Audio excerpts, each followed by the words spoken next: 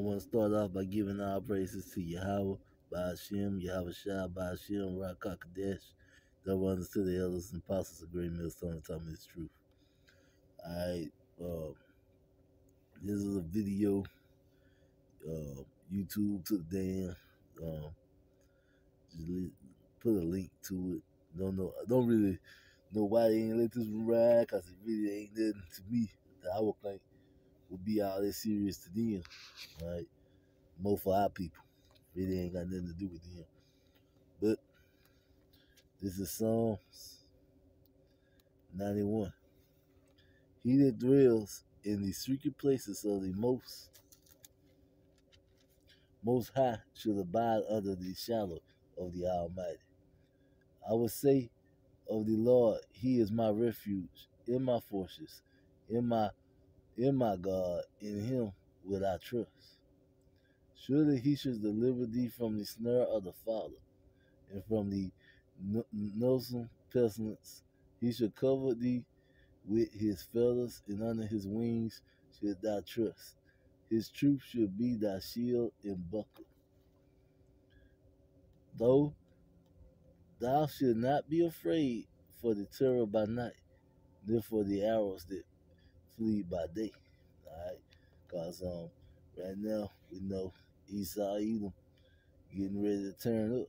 Alright? So uh, we're gonna need the Lord, we're gonna need his truth, we're gonna need him to shield us.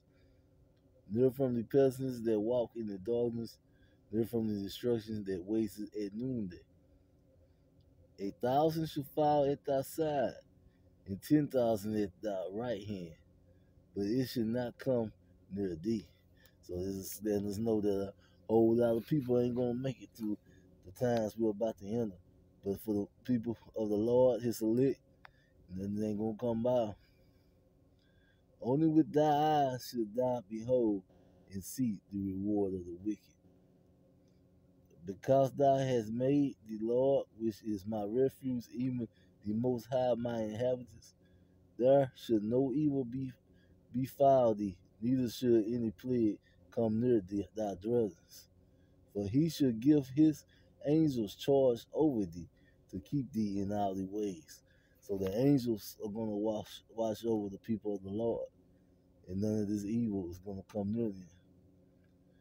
They shall bear thee up in their hands, lest thou dash thy foot against a stone.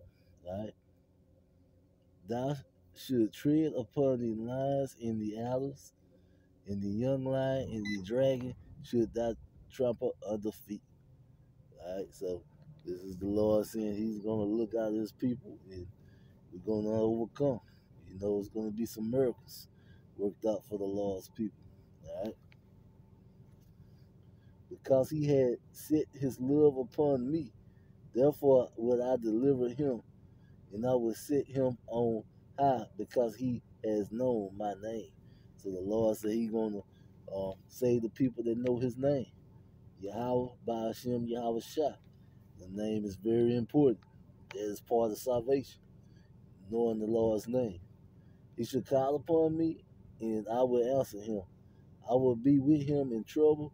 I will deliver him and honor him. With long life will I suffix him to show him my salvation. All right? So he's going to give long life to the piss people, to the people of the Lord.